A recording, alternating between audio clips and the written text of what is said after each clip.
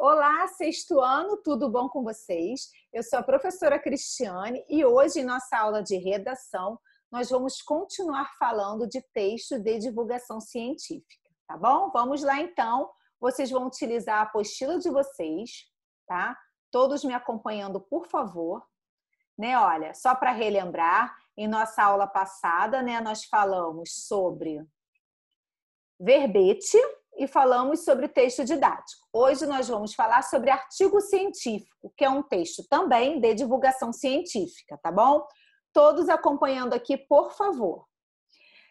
Artigo científico. Há ainda gêneros de divulgação científica que apresentam um nível de complexidade maior, como o artigo científico. Trata-se, nesse caso, de um texto cuja extensão é relativamente grande, pode ter, por exemplo, mais de 20 páginas e que visa publicar os resultados de uma pesquisa realizada.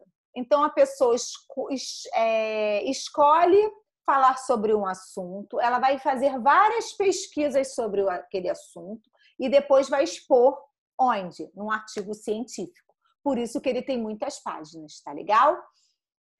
Tais resultados devem ser analisados por outros cientistas, que verificam o rigor com que o estudo foi feito, especialmente quanto, quanto aos métodos usados, para evitar que se publiquem equívocos, ou seja, coisas erradas, né? O que, a depender da situação, pode ser bastante prejudicial à sociedade. Diferentemente do verbete, do texto didático, no artigo científico, a linguagem usada é mais técnica, dificultando o entendimento por parte de quem seja leigo no assunto, né? Porque vai ser algo específico, então uma linguagem específica daquele, daquela, do que foi pesquisado. Então por isso que é algo mais técnico, é mais difícil para quem não conhece do aluno ler o artigo científico da pessoa. Assim, Ainda assim, é um gênero que pode ser disponibilizado às pessoas de modo geral. Leia a seguir um trecho de um artigo científico. Aqui nós temos um trechinho de um artigo científico que eu vou ler para vocês. Acompanhem comigo. Qualidade de vida de crianças e adolescentes. Uma revisão bibliográfica. O presente artigo tem como objetivo analisar as produções científicas nacionais que abordam a temática da vida, da qualidade de vida ligada à saúde da criança e do adolescente. Baseou-se no referencial da pesquisa bibliográfica. As bases de dados consultadas foram Cielo e Bireme, totalizando 30 artigos publicados no período de 1990 a 2008. Revelou-se uma predominância da abordagem quantitativa, 70%, e um alto índice de aplicações de instrumentos de avaliações de qualidade de vida ligada à saúde, 66,7%, e genéricos, 28,6%.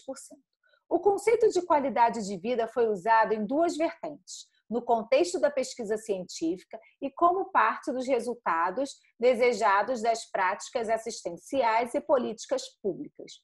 Então, turma, vocês viram que o, a linguagem é mais difícil, né? É uma linguagem mais técnica, mais específica, do que foi tratado, tá bom? Então, turma, hoje, né, eu quis mostrar aqui para vocês, né, o que é um artigo científico, que ele é também um texto de divulgação científica, sendo que ele se diferencia, claro, do texto didático e também do verbete, certo? Então, turma, agora vocês vão ter as atividades né, da apostila para vocês fazerem e fixarem o que viram nesta aula. Tá legal? Um grande beijo a todos os alunos do sexto ano e até a nossa próxima aula. Tá bom? Tchau, tchau!